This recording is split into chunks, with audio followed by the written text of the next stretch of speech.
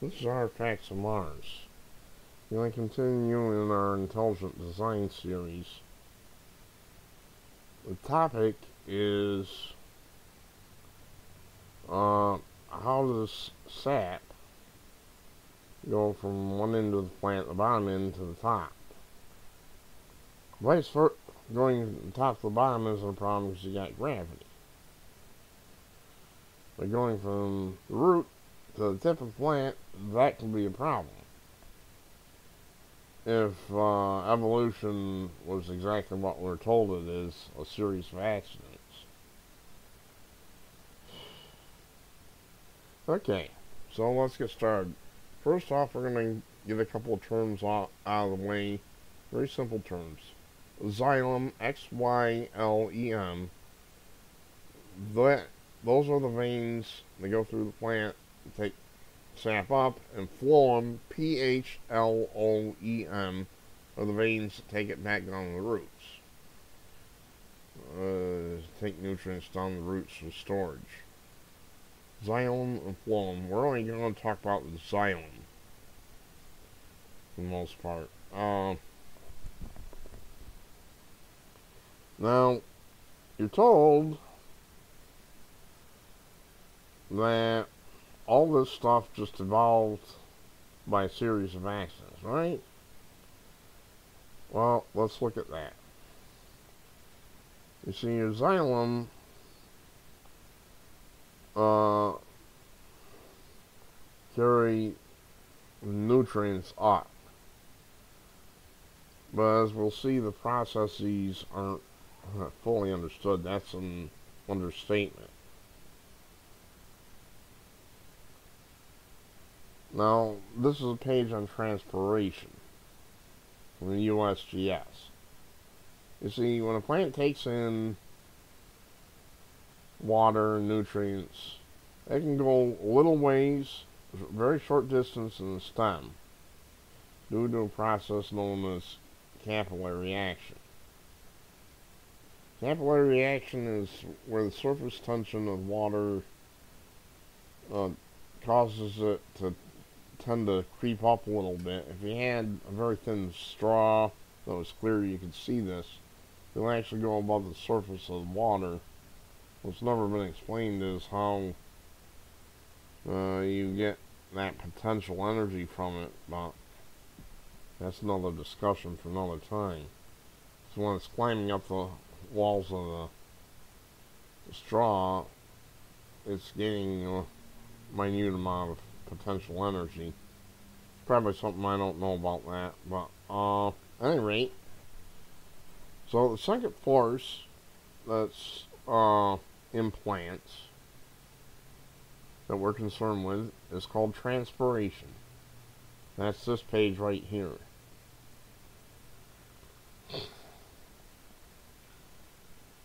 So what is transpiration? Transpiration is where water is taken up. You have the sap in the stems, uh, roots, stems, whatnot, and transpiration causes evaporation from plant leaves. And that evaporation in turn causes a little bit of low pressure inside the leaf.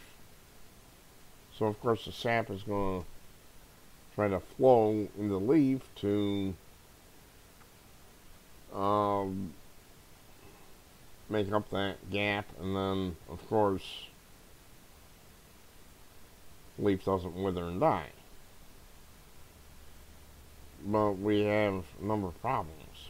Well who thought this one up? I mean the plant just came up on it with this mechanism on its own. I don't think so. It was clearly designed like this but we have another problem. See, transpiration can uh, account for a few inches of uh, sap flow. But after that, there's another force which science doesn't even understand. Now, if you talk to evolutionists about this, they'll say, oh yeah, we understand it. And they'll dance around it like they dance around the uh, swimming pool of pit vipers. I mean, they won't go actually go anywhere near it because they know this can't be explained. Because your average rose bush is much higher than uh, a few inches. There's a process there that no one really understands. Yet the plants have figured this out. With our marvelous science, we can't figure out how this works. You see what the problem is? Being given a bunch of BS by these people. You know, they're basically saying, yeah, mm, everything involves it's all an accident when they can't explain things like this. Now, having said that, this only gets worse. It doesn't get better for the evolutionists.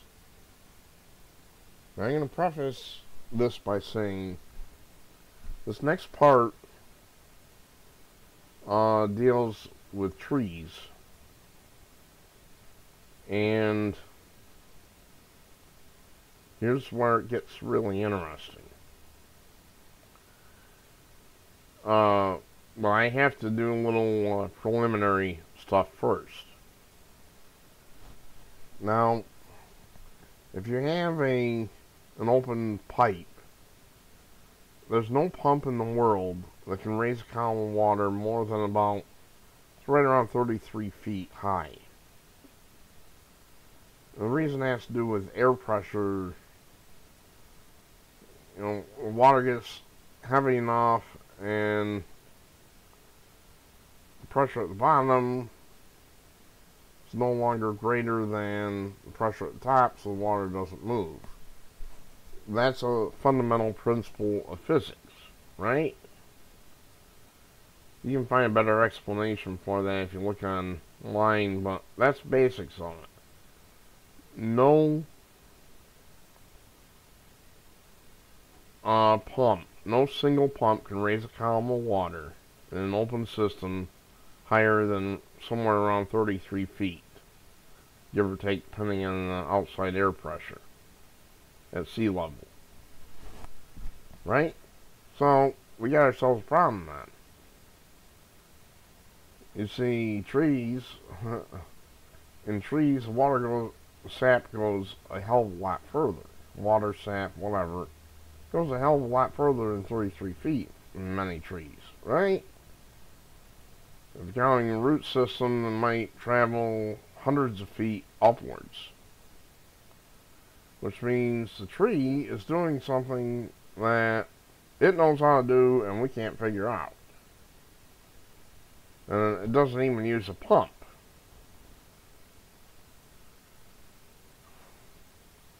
Now, those of you who are paying attention here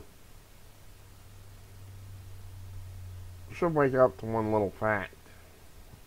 The fact is, they don't know.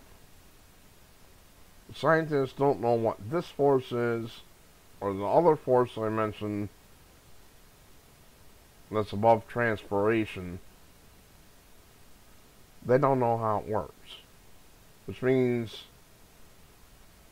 every tree and bush out there is all outwitted our best scientists. Well, you think? How can a plant outwit a scientist? Well, it's very easy if it's designed by someone.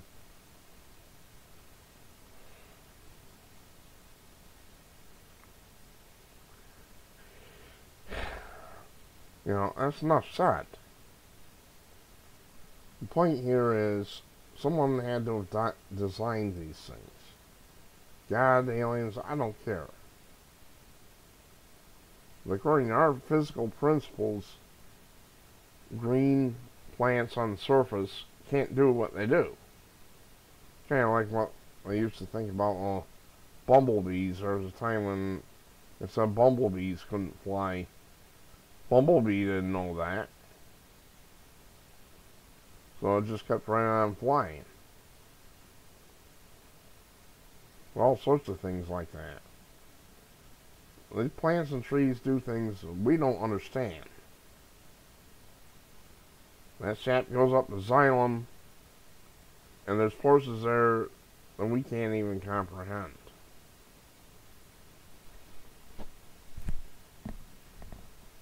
Yeah, we act like we know it all, and they just evolved. It's all a series of accidents. Case closed. You're an accident. There's no God. There's no aliens. There's just accidents all over the place. It's crazy, folks. And it's complete BS.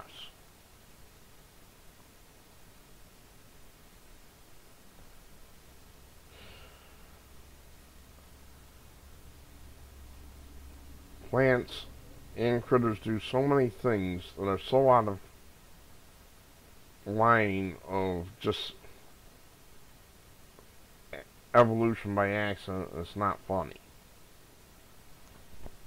And this time we uh, woke up and said, hey, you people are full of it. Not that I couldn't take, couldn't accept uh, slow change, but I could if they acknowledged there was some kind of guiding hand, because it's clear that we were designed.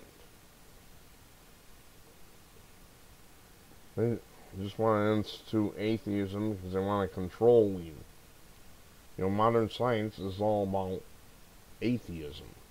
Instituting atheism in the school, in the pop populations, so forth.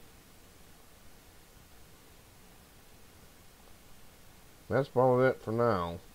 I'm Artifacts of Mars, reminding you that your world was designed. I'm not a Bible thumper, I'm an agnostic.